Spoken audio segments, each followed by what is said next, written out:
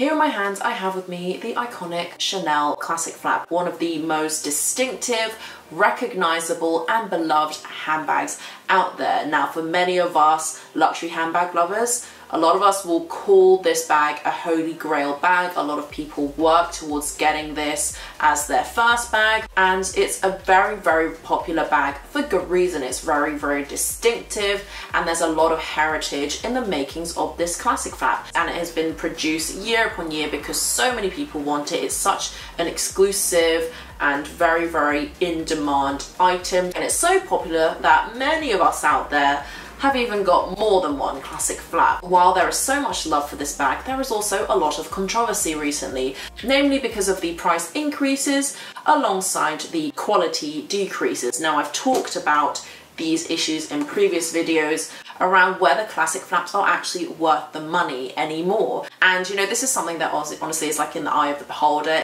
But obviously I cannot deny that when bags get into the tens of thousands, when the quality goes really a lot more downhill, there's not really much left in the bag prestige and the brand heritage for me to be able and comfortable with parting with that much cash. So I wanted to put this video out there today because I wanted to share some of the alternative bags that you can get for a fraction of the money depending on your budget of course. There are so many options that I will talk you through from 10 luxury fashion houses that will give you the classic flap look and feel but without the massive hefty price tag. So I've only selected one item from each fashion house. Does not mean there are not more options out there and also just to keep this video very short really. Otherwise I'll be sat here for ages talking about bags that look like a classic flap which will be many because as you can tell it's a very very simple elegant style that is very easily copied I think. I don't think it hurts to explore other options that give you the same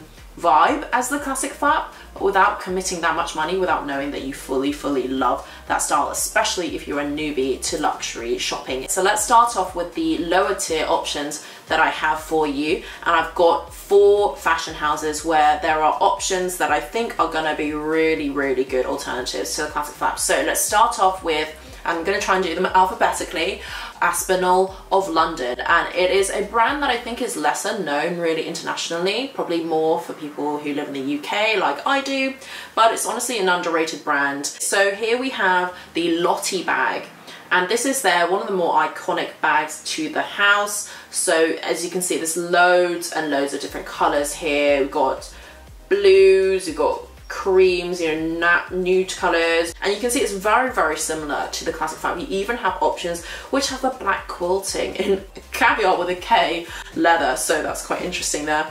Um, and loads of different other finishes, hardwares, sizes as well. And let's just open one of them up now. Let's just actually take, let's take this navy quilted caviar, which I guess is in the large size, it's gonna be very comparable to the Jumbo Classic Flap. And you can even get it personalized, which I think is quite a nice detail on the front. I love that. Honestly, for £495, that is a steal. And sometimes they do discounts as well as the um, promotions that they already have. So just ones to consider, you know, if you want the look but you don't want to commit, Aspinal London is a really great one, good quality too. But obviously be aware, like with all of these lower tier options I'm going to be talking about, that, you know, this, although it's cheaper to buy, this may have an impact on potential resale in the future if that's something you're looking for.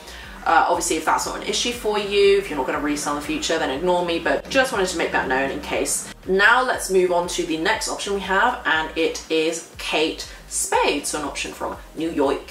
And we have the Carlisle bag here, and it seems to only be in the medium size. The Carlisle bag is available in different quilts, designs, textures as well. We've got even houndstooth over here. We've got a lot of them, they're all in gold hardware, so if you're not a gold hardware gal, that might be an issue for you, but if it's not a big deal, then obviously you've got a lot of different colours and things to play with here. You know, the look is very, very similar in terms of the CC clasp here. You've got this little buckle. Obviously, this chain strap is a little bit different to the classic flap because it is full chain. It's a bit more trapeze at the base, um, almost like the Coco handle base, but lots and lots of organisation and for a fraction of the price tag. You could add another zero and it would still be cheaper than a classic flap. Now let's move on to option number three and this one is also from a US based designer and that is Rebecca Minkoff. So you can see here this bag, the Edie flap bag, It's available in so many different colors, hardwares, sizes and even the different quilts. It's distinctive in its own right with the um, the fastening. I don't know what that's called. It's like when you have like school bags, right? The little press fastening. Um, but it's very, very similar to the classic flap silhouettes. If you want something a little bit more distinctive, a little bit more edgy, this is the bag for you. And you know, the fact that the prices at its peak are what, like 322 pounds, loads of different options here. I mean, these ones are less relevant, but you can see even different sizes of the, the crossbody version of the bag, which you could almost say is like the small classic flap style. That is 200 pounds. I mean, let's click into one of them, shall we? Very, very similar to the Chanel classic flap style, organization, also not too dissimilar, and the ways to wear it, you know, it's very, very versatile. Now let's move on to the final option that I have from this lower tier selection, and that is from Tory Burch and this is the Eleanor bag. It's very, very distinctive for Tory Burch. It's one of their more like classic items that they have. They release it year on year, multiple different designs and things like that. As you can see, it's very distinctive with the TT um, buckle here, basically replacing the CCs. The chains are quite different and distinctive. They are rounded spiral chains, so those are interesting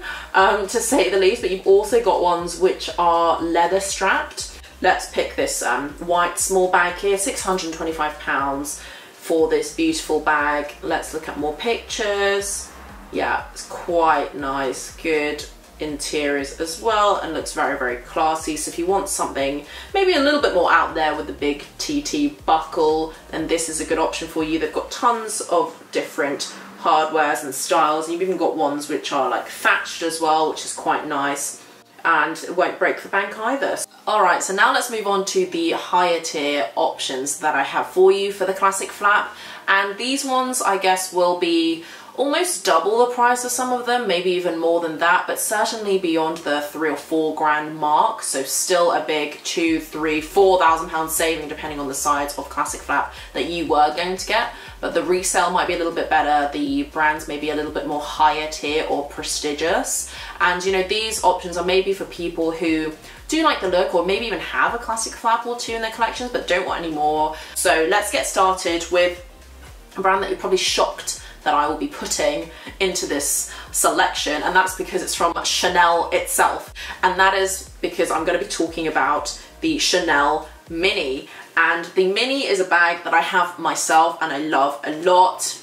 And it's a bag that people talk a lot about when comparing for example the small classic flap because they almost fit the same amount if not this one may fit more because it doesn't have the double flap on the inside it's just a single flap bag now this mini flap bag that I have here is a cutie that I bought, oh my goodness, maybe three or four years ago at this stage. I bought it at the time for £1,900, which now that mini flap bags are what, let me just have a look, 3,360. That is just astounding to me that it could basically double in the space of four or five years. So definitely one to consider because it has the classic flap look as you can see from the small flap bag. Very similar, not much in it in terms of size. Obviously this one can't go uh, over the shoulder but there are workarounds that you can do by you know taking you could probably loop on your own handle here I know a lot of places will offer handles, Samorga for example being one of them. You can use my code Melloncello for some dollar off there, shameless self promo. But you know, you can also uh, have workarounds like making this chain uh, loop over itself, but you can make a figure eight. You can therefore loop it round and you'll have a double strapped shoulder bag. So, you know, there's workarounds for the Mini, but you do obviously have that look because it's also from the fashion house itself. Now, if I go back to my phone and take a look at the mini flap, you obviously have uh, a very, very low price tag in comparison to the classic flap. So, you know, the small one, I think that this one went for almost £7,000. Then the mini, so this one being 3,360. Obviously that might vary depending on if you get something in, a, you know, different fabric, like tweed, um, or other material here, you know, that might go up in price or even down to be honest. So many different designs also that you can see here and so many that are in store that you won't even see online. So it's definitely worth having a look if you really don't want to part with that Chanel look but really cannot bring yourself to pay for it fully.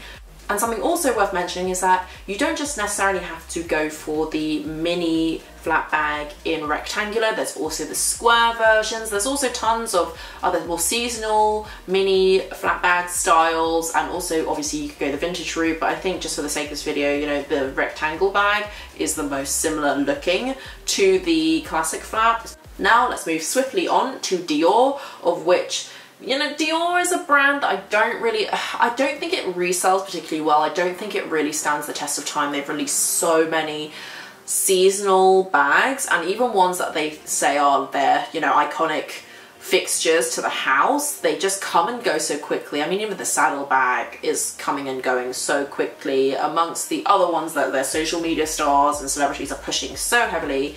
But if you really do like the fashion house, the Dior Caro bag is very, very similar looking to the classic flap. Almost also has a boy bag vibe to it because it's quite boxy but it is a good option if you do want something from a more prestigious brand, shall we say. Now let's have a look at all these selections. You know, you can see a different variety of sizes. You've got micro sizes, small, medium, and large, I assume as well. All in their uh, Cannage print, which is distinctive to the house. They're different sizes, so you got a good variation here. Classic CD logo, which they change a lot as a side note, but hopefully this one will stay. And um, you know, you've got a lot of selection of colours so you can see very, very similar interiors, nothing crazy to write home about. The chain obviously is a little bit different. You've got a bit of leather here, so a little bit more similar to the boy bag here. But, you know, if you want something that is a little bit different, you want the, you like the Dior Cannage print, then this is a good option for you. And for like two, three grand top end, pretty good in my opinion. I also hear Dior service is really good and they treat their customers really nice. Now let's move on to Fendi, which I think a lot of people will probably be able to gather which one I've gone for, and that is the iconic Fendi baguette bag. Now, the baguette has had a resurgence in the recent past, but there are so many to choose from, and I'm really glad to see it actually, because it's a bag that I think is super underrated, and it's really nice, and I've considered a baguette in the past. And this one, you can see you've got different handles. You've got the leather handle here, which is very Prada re-edition again. Um, so it may not be super, super similar to the classic flap, but then you've got ones with a top handle, a chain. Budget on this one, I mean, you could top end you were probably looking at three thousand pounds. Bottom end you might be looking in the 900 or 1000 pounds but you can see there's so many more designs colors and things and materials that you can go for here. You can definitely be a lot more fun with the Fendi baguette than you can with the other selections. I mean, you've even got one that's a tiger print here, right? You can get good vintage options as well, which will be a lot cheaper in the fabric. But in the leather, I think, yeah, it's pretty good for the money. Now we're on to option number eight, and that is from Gucci. And I was resistant at first to put Gucci in here because I have certain opinions of Gucci bags. They are almost even more trendy than the Dior ones. I mean, who didn't buy a Marmont bag slash belt in the year, what, 2018, 2019? Because I certainly did. Look, I love my Marmont belt. I will not get rid of it.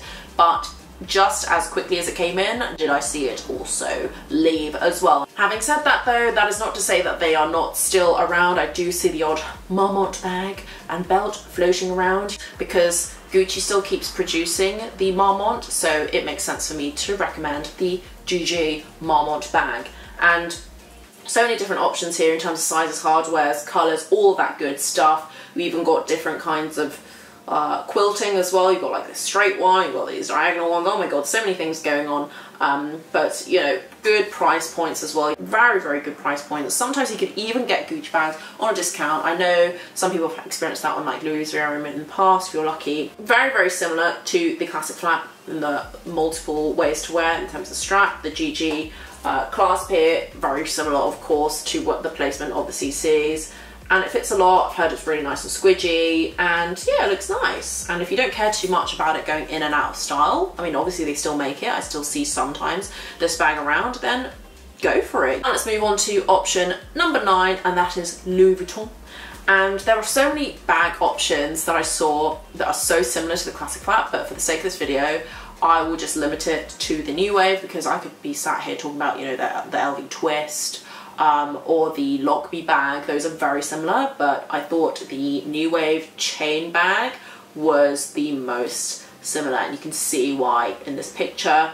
Very, very similar in the placement of grommets and in terms of the internal organization, ways to wear, and you know, it comes in a variety of different colors, which is quite nice. Though the hardwares are all gold, so that's just one to think about. If you are not a gold hardware girl, then you know it might not be for you but like I said there's so many other options in LV's lines that have different hardwares and things that are similar to classic flap so definitely worth a look.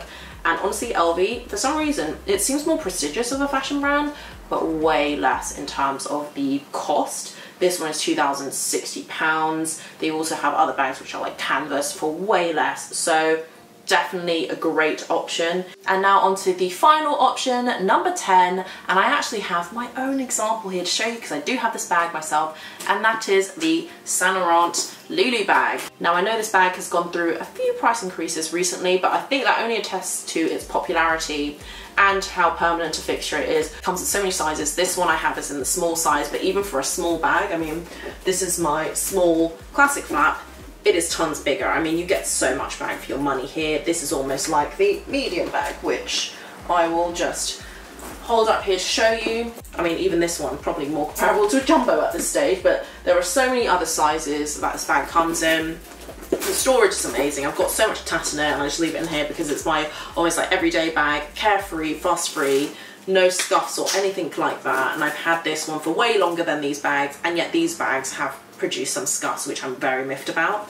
But this is for obviously a fraction of the price. This is their website. There are so many color options and size options here that there is definitely something for everybody and that is just on their website alone. They obviously have more selections in store. I think they even also, as a side note, may feature in like outlet villages this bag is pretty classic. It rarely goes on discount now anyways. If you do find it, it may be a stroke of luck, but in my experience with this one, I mean, I was lucky enough to buy this for, I think, just under a thousand pounds or if not just a thousand pounds. But that is for the small size. You can get the toy size which is a very very popular size of this bag and you can wear it crossbody predominantly or as a clutch. But certainly for a bag that you can wear double strap the small is still a good price point. So with that all being said those are my 10 options for you for classic flap alternatives. I know I've not been super exhaustive. There are other brands out there like the Versace's, like the Valentinos. You could even argue that if you could go straight up to the Hermes if you want to justify the price for the quality, but let me know if you've got any other burning suggestions down in the comments and if you will be adding any of the bags that I've mentioned into your collection if not already have them. Anyways, I'm just gonna leave it here. Thank you for watching and I'll catch you in my next one.